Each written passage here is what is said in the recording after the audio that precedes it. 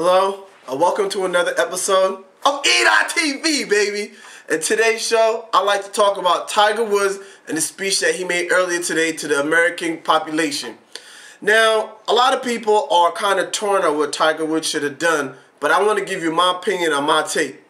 Personally, I think to save face with his endorsers in terms of getting that endorsement money back that he lost, not that he needs it, the guy's probably like a billionaire already, but in order to save face with the endorsers that are staying with him, I felt that he needed to come out and say something to the American public so they could have faith again to buy his products.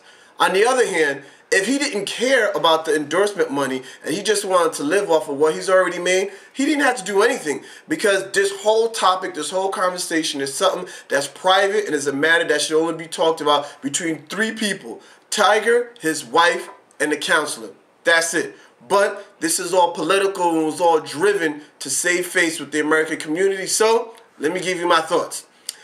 Um, initially, I didn't think that this press conference was going to go well because the way Tiger had it constructed, he had it done in such a way in which that the media could not ask questions, and the media that was present there were his friends slash his boys, so that you know they would all write good things about him.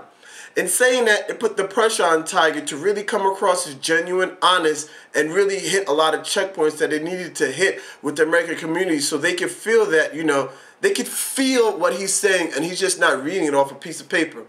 I mean, his whole presser was 15 minutes, and I think he did a good job. I mean, who can actually remember 15 minutes of information that all must be hit?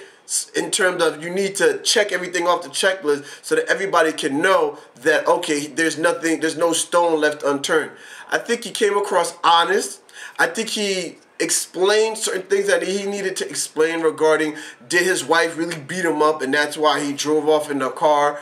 Uh, domestic violence within the relationship um, people were beginning to say that he was taking performance enhancing drugs. So he hit a lot of that. He admitted to the fact that he's in a, um, a sex addiction clinic. He apologized to everybody that needed an apology, you know, his wife, his kids, his family, his mom, his colleagues, the golf community. So I think he really came across as being honest and I really think he did a good job of apologizing to not only the children, but the parents of the children that really look up to Tiger so that they can feel comfortable in knowing that, hey, everybody's human and everybody makes mistakes and that if he's given another chance that he can prove to everybody that he'll be making the right decisions as well as you know doing what he normally does on the golf course.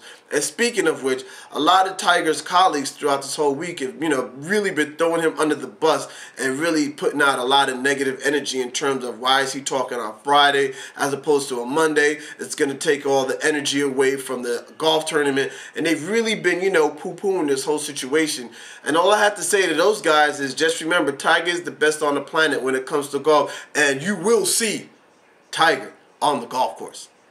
That's it. That, that's all that I have for today on Tiger Tiger Woods, y'all. New episode will be coming soon. If you have any questions, comments, or you just like me to, you know, add a couple other things that you like in the show, you know, you know, don't feel scared. You can leave a little comment or text, or better yet, you know, you can email and leave an email. So, you know, I'm willing and I'm and I'm working to make this show better for us. All right?